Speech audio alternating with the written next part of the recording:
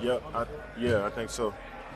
I think so. We just didn't play. We just didn't play well. We just didn't execute. You could talk all you want. If you don't execute what you just talked about, it does you no good. You know. So, yeah, talking and the rah rah speeches and all that stuff is cool to a certain point, but you got to go out there and execute. I think we haven't done that.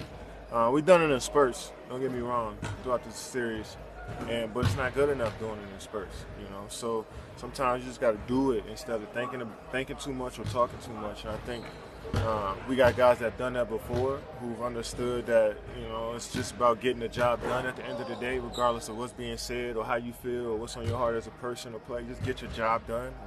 I think we'll we'll do that, but we got to put it together consistently. And I think that's what our season's been. Sometimes we put it together for long stretches, and then sometimes we don't. So